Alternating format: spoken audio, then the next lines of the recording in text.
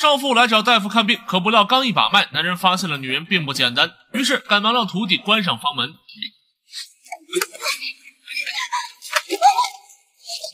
看着女人想要逃跑，男人直接将她按在了桌子上，然后利用自己的透视眼看到了女人身体里的异样。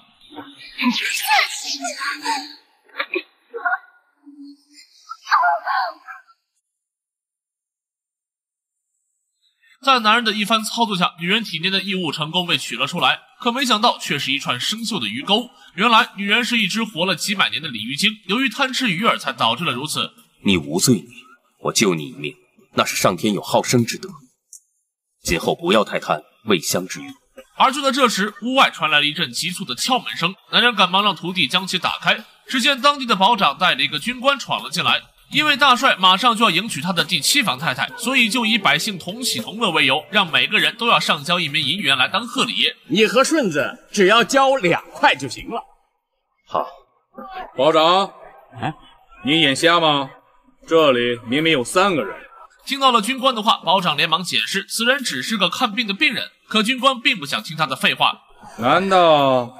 这不是人吗？为了不让对方李玉京的身份暴露，男人就决定代替女人出了这个钱。他利用法术将刚才的鱼钩变成了一枚枚的银元。没想到军官还算讲究，只拿了三枚放进箱子里。结果就在保长离开后，他又将剩下的银元装进了自己的口袋中，然后潇洒的离开了这里。此时的城内到处都是拿枪的士兵，他们就如同土匪一般，不断在街上抢夺老百姓的钱财，甚至还为了一尊纯银佛像将人杀死。村民们也都是敢怒不敢言。到了晚上的时候，军官就瞒着大帅，将自己搜刮的钱财偷偷藏进了箱子里。可没想到，白天从大夫那儿拿来的银元，竟然变成了一个个的鱼钩。此时的他瞬间就知道了对方的身份。于是到了第二天，军官独自来到医馆，准备一探究竟。没成想，大夫今天出门进药，并没在店里。眼看自己扑了个空，军官就让徒弟伸出手，把这个交给你师傅，就说有空我会再来的。等到军官离开后，小徒弟就拉响了一旁的铃铛。紧接着，男人就从屋内走了出来。看来对方已经知道了自己的身份。可就在他准备离开时，军官又突然带着一队人马折返了回来。而看到这儿的男人却丝毫不慌。你是想被请进大帅府呢，还是被绑进大帅府？那要看你们有没有这个本事。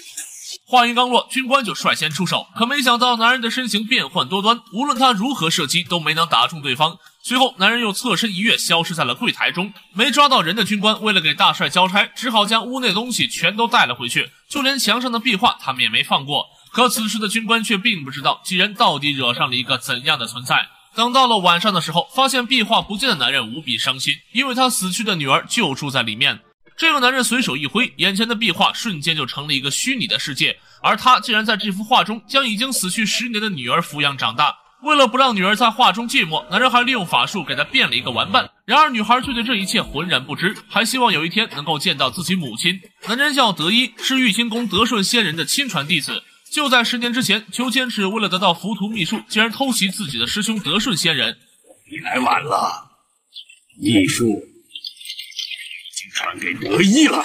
在得知秘术已经被传给了德一时，裘千尺就抓来了他的妻儿做要挟。眼看德一迟迟不肯交出秘术，裘千尺竟残忍地杀害了他的妻子。就在他要对婴儿下手的时候，德顺仙人用尽最后的力气，成功摧毁了对方的天幕，让他法力尽失。等到裘千尺逃走后，德顺仙人也已经油尽灯枯。虽然婴儿被成功的救了下来，但他的元神正在慢慢的溃散。要想保住性命，就必须让他生活在阴阳之地的结界之处。说完后的德顺仙人便领了盒饭。至此之后，德一就将女儿藏在了壁画中，每天都要用秘术来为她运功疗伤。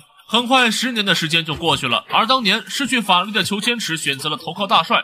经过他的潜心修炼，如今也恢复了大半的法力。为了能够得到浮屠秘术，裘千尺就准备借助大帅之手来寻找得意的下落。因为他在来到这座城内的时候，就感觉到了对方的存在。由于大帅想要称帝，可裘千尺却说他命里缺少天格。那就真的没有什么办法了。听到了大帅的话，裘千尺就告诉他，只有找到德一手上的浮屠秘术，才能为大帅逆天改命。我托、范琛，你们几个赶紧去城中，把这个德一给我找到。是是。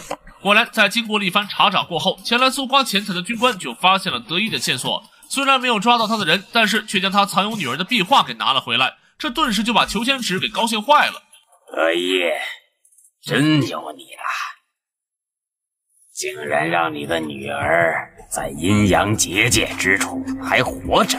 而另一边，看到壁画被偷走的德一非常伤心，于是他换上战袍，只身闯进大帅府营救女儿。可没想到，对方早已等候多时。看到德一的到来，裘千尺先发制人，直接使出一招木盾，准备将他困住。而被束缚的德一则利用水盾破除了对方的束缚。紧接着，他又释放出了几颗螺旋丸进行反击，结果却被裘千尺的游女虫给啃食殆尽。这一通精彩的表演，让坐在一旁的大帅不停的拍手叫好。德大夫果真是名不虚传。